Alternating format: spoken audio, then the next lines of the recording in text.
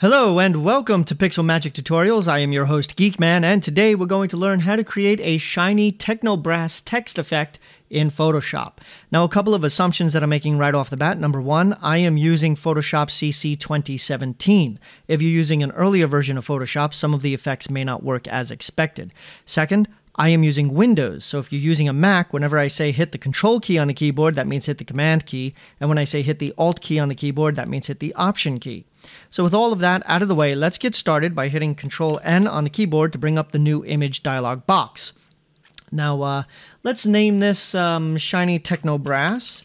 Shiny Techno Brass Text because whoop, shiny doesn't have an E in it. Uh, and this is what we're making, shiny technobrass text effect. Now I I call it that. It's not quite exactly correct, but uh, that's what it looks like to me. So the width that we're using is 3,840 pixels. The height is going to be 2,160 pixels, resolution of 150 pixels per inch, RGB color mode, uh, and we're going to use background content. Uh, doesn't matter, we're going to change it. Our advanced options here are we're going to be using Adobe RGB 1998 as our color profile and a pixel aspect ratio of square pixels. Let's hit create. We're ready to begin. Now the first thing that we're going to do is we're going to change our foreground and our background colors just to give our uh, our text something nice to sit on. Nothing special, just a, a quick and easy radial gradient on the background. So let's just change our foreground color here to a nice uh, grayish of 57577. Okay, we'll hit OK. And then let's change our background color here to uh, 1C, 1C, 1C. So you've got uh, from a uh, medium gray to a very dark gray, not black. Okay, once you have that, we're going to go to our gradient tool. That's G on the keyboard, or you can go over here to the gradient tool on your toolbar. Uh, and what we're looking to do is take the foreground to background colors, because that's what we changed our foreground and background for. We want to make this a radial gradient, mode normal opacity 100, reverse is unchecked, dither and transparency are both checked. Go somewhere near the center of your document, click once, hold down shift, and then pull all the way out to the left or the right holding down shift constrains your gradient to a straight line like so. And since it's a radial, when I let go of the mouse, you'll see that it's a radial gradient from the center out towards the far edges. That's what we want, simple background to put our text on. The next thing that we want to do is we want to change our foreground color to the color of the text that we need. Now this effect needs a specific color. So that's what we're going to change our color to now. It's going to be A0 uh, 6C uh, 37. Let's go. Uh, a nice kind of fleshy, tanny, browny color. Okay, let's hit OK. And that is now our foreground color. And the next thing that we need to do is choose our text. Now you can do that by hitting T on the text tool uh, for to get the text tool like so, or you can go over here to the text tool. Now the font that I'm using is called Street Cred. Okay, Street Cred at 325 points. Now the rest of this doesn't really matter. I don't have any of these uh, buttons here checked because I'm going to use a, a, combination of capital and lowercase letters, letters but feel free to use uh, any of this as you see fit for your specific needs. Um, oh, and the Street Cred font that I'm using here, I have a link in the description below where you can download this font. Now, this particular effect does work with just about any font, uh, as long as it's semi-thick, because you, you want to see the outline and then the inner part uh, where the effect will be but just about any font works. I just happen to like this particular font for this particular effect. I think it looks pretty uh, retro, futuristically cool. Okay, so uh, what we're going to do is we're going to now click somewhere in our image and write our text. And as always, I'm using Pixel Magic for my text. Okay, once you have the text that you want, you can uh, you can arrange its kerning. That means the spacing between letters. Uh, and the way that you do that is you go in between the letters and then you hold down Alt and use your left and right uh, buttons on the keyboard, left arrow and right arrow, I mean, and you just move it closer and further apart. Now, I happen to think that this looks pretty cool just the way that it is, but I'll, uh, I'll, I'll, arrange it just a little bit more so that you can see how this works. All right, uh, pretty easy, all done. Uh, once you're done, hit the check mark and you have your text. Go back to your move tool, which is the V on the keyboard or the move tool way up here. And then we're going to click and drag to the center. Now you should see uh, lines pop up like so to show you exactly where the center is. If you don't just eyeball it, it's fine. We're just trying to make the text effect. It doesn't have to sit in the center. I'm doing it so that you can see what I'm doing a little bit better. Now, uh, the only thing that we need to do to make this work is use layer styles. There's no other fancy magic here. So this is a layer style that you can then save and then apply to any other text or object that you want to use this effect with. So let's get to it. Let's go down to our layer styles here. Let's go to bevel and emboss because that's what we'll start with. I'll move this up and out of the way. Uh, and bevel and emboss, the first thing that we're going to do is we're going to make this a stroke emboss. It's going to be a technique of smooth. Depth is going to be 100. Direction is up. Size is 7. Soften is 0. Now remember to uncheck use global light. Never leave that checked unless you're doing a, a specific uh, a specific thing that you need every single effect to use the same light. We don't really need that here. So I have never used use global light. Uh, so I think it should be unchecked by default, but it is always checked by default. So make sure that it is unchecked. Next, you want the angle to be 135, the altitude to be 40. The gloss contour that we're using is ring double. Okay, anti-alias is checked. Uh, highlight mode is going to be linear dodge add, and the color that we're using here is FFEAC5.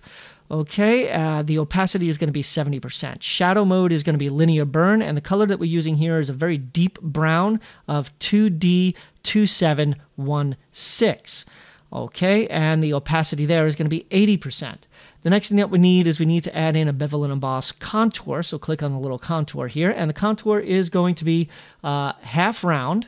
So we need to make this half round right there, half round. Anti-alias is uh, unchecked, and the range is going to be 100. Okay, the next thing that we need here is going to be three strokes. So you do the first one, and that's going to be the top one, and then you just hit uh, the plus mark here, one, two, and you get two more. Okay, so the topmost stroke that we need is going to be a size of eight, position of outside. Uh, normal is the blend mode. Opacity is going to be 100%. Overprint is unchecked. Fill type is going to be gradient. The gradient that we're using is this guy right here, which is called copper. Reverse is checked. Align with layer is checked. Shape burst is the style that we want. Uh, angle is going to be 90 degrees. Uh, dither is going to be unchecked. Scale is going to be 100%. The next stroke, the middle stroke here, is going to be a size of 4. Position is going to be inside. Blend is going to be luminosity. Opacity is going to be 100%. Overprint is unchecked checked. Fill type is a gradient. The gradient that we're using here is going to be this guy here, which is chrome. Reverse is checked. The line width layer is uh, also checked. Uh, and linear and 90 degrees and dither unchecked and 100% for the scale. The next and bottommost stroke is going to be a size of 6. Uh, inside is the position. The blend mode is going to be color burn. Opacity is going to be 100%. Overprint is going to be off. Uh, gradient is the fill type. The gradient that we're using is once again copper. Reverse this time is unchecked. Align with layer is still checked.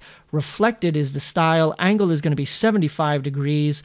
Uh, dither is unchecked and scale is going to be 100%. Now that gives us a shiny, chromy kind of uh, not chromy, a shiny coppery brass kind of line around our text. From this point forward, what we're going to affect is the inside of the text, this brown area, and also we'll give it a little glow and some shadow and uh, shine. So let's move on to the inner shadow. Now the inner shadow that we're using here is going to be a multiply. The color that we're using is black, which is all zeros. Opacity is going to be 100%. Angle is 135 degrees. Use global light again unchecked. Never have that checked. Distance is 12. Choke is 0. Size is 5. Linear is the contour that we've got here. See if I hover over this, it's linear, which is the default one there. Anti-alias is unchecked. Noise is going to be 0%. Next up is going to be inner glow.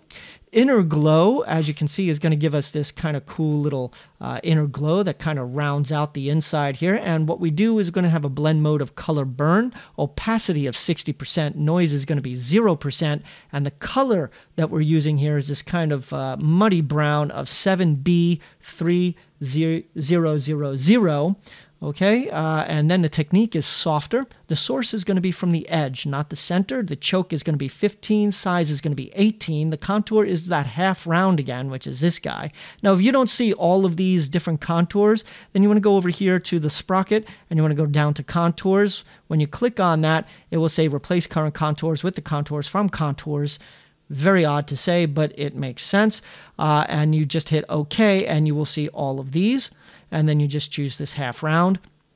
Range is going to be 50%, jitter is going to be 4%. The next thing that we need to do is satin. We want to add in a little bit of satin here, which is going to give us these lines in our text that makes it look a little bit more techy. Uh, blend mode is going to be color burn, and the color is all black, which is all zeros. Opacity is only 20%. Angle is going to be 30 degrees. Distance is 90. Size is 5. And the contour that we're looking for here is this weirdly humped guy right here. Uh, where did he go? I just saw him right there. Uh, and that guy is called cone asymmetrical. Anti-alias is checked and invert is also checked.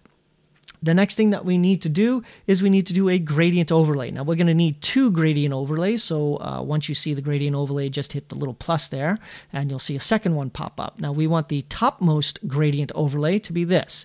Blend mode of vivid light, dither is unchecked. Opacity is going to be 50%. Once again, we are using our copper gradient. Reverse is unchecked. Align with layer is checked. Style is going to be linear. Uh, the angle is going to be 90 degrees. Scale is going to be 34%. Okay, the next gradient overlay that we need is going to be this guy right here, uh, the bottommost gradient overlay. There are only two. And the blend mode that we're going to use is soft light. Dither is going to be unchecked. Opacity is going to be 100%. And this time we need to make a custom gradient. And the way that we do that is we click once on the gradient and that will pop up the gradient editor right here. Now what we have to do, it's very simple. You're only working with these bottom um, stops, okay, these bottom color stops. Now the first one that we want on the left-hand side is going to be this color, which is FFCC99, which is this kind of um, skin flesh tone kind of color. Okay, so FFCC99, and that needs to be at the location of 15%. Then we're going to need another one over here, and this one is going to be a very deep brown of 301800. Okay, and that will be at the 35% location. Then you're going to have these two guys right here very, very close to each other. Okay, this one right here, this brown one, is going to be uh, 663300, which is this kind of muddy brown, uh, and that's going to be at location of 49%. Then you need to make another one, okay, and this will be mostly white, almost pure white, of FFF7EA. Okay, once you have that, you're going to make that location 50%. And that gives us a straight line of uh, color change from this brownish to this almost whitish. And then all the way down here at the very end at 100% over there, we're going to have this other very deep brown of 1F1300. Okay, once you have your uh, custom gradient set up, you hit OK and you will see it over here. Make sure reverse is unchecked, align with layer is checked. It's got to be a linear gradient. Angle is going to be 90 degrees. Scale is going to be 100%. Now to give our uh, text a little bit more of a, uh, a, a, a feeling of being kind of techno, retro techno brass look, the shiny techno brass text effect that we're going for, we're going to give it a pattern overlay on the inside also and that makes it look a little brassier, at least to me. So uh, what we need here is blend mode of normal. Opacity will be 26%, and the pattern that we're looking for is this one called Zebra. Now you can find Zebra. Is it called Zebra? I am correct, Zebra. You go here to the sprocket, and you go down here to Patterns, okay? When you see patterns, you hit uh, replace current patterns with the patterns from patterns Again, sounds odd, but it makes sense. Hit OK and you will see your patterns. Then you want to choose this guy right here, which is our pattern that we're looking for, zebra. Scale is going to be 400%. We want it pretty big. Uh, and link with layer is checked. The next things that we're going to do now that our text is basically done is we're going to give it a slight outer glow okay, uh, that will make it look like uh, light is reflecting off of all of it. Then we're going to give it two drop shadows. One drop shadow is your standard drop shadow underneath and to the right, and the other one will be on the upper left-hand side, which gives it kind of a glow up there, as if the light source were coming from the upper left. So let's start with the outer glow. We're going to do this outer glow. It's going to be linear dodge add, opacity of 5, noise of 0. The color is this kind of orangey color of FF9536. Okay, and then we're going to do a technique of precise. Spread is going to be 20%, size is going to be 40 pixels. We're going to use this ring double uh, that we're going to use, which is found right here, ring double. Yes. Uh, anti-alias is checked. Range is going to be 50%. Jitter, we're going to give it a slight jitter of 2%. That kind of uh, gives it a little sparkly to it, but very, very slight. Uh, next thing is we need two drop shadows. So click on drop shadow, then click on the little plus to get two. And the topmost drop shadow will be linear dodge add, and it will be this kind of yellowish greenish color here, which is FFFF66. Okay, then we're going to use opacity of 70%. Angle is going to be negative 45. Make sure it's negative 45 and uncheck use global light before you do that. Uh, distance is going to be 10 pixels. Spread is going to be 5. Size is going to be 10. Contour is going to be linear, which is the default. Uh, Anti-alias is unchecked. Noise is 0. Layer knocks out drop shadow is checked. Next and last is our drop shadow. So we're going to do a blend mode of multiply. Color is going to be all black. Opacity is going to be 100%. We want a very deep, dark shadow for our text. You can always make that a little bit lighter by going uh, you know lighter there. I happen to like it very very dark to help it stand out against the background. Uh, angle of 135 degrees again uncheck use global light. Distance is 28. Spread is zero. Size is 12. Contour is linear, anti-alias is unchecked, and noise is zero. Layer knocks out drop shadow is checked, and we are done with our text effect. Now, uh, at this size, it doesn't look so amazingly good, but when you hit Control 1 on the keyboard to make it at 100%, you can see all of the detail in our uh, shiny Techno Brass text. I hope that you enjoyed this tutorial. If you did, please give me a thumbs up, leave me a comment, and subscribe. I do new tutorials every Tuesday. Once again, this is Geekman signing off for Pixel Magic Tutorials.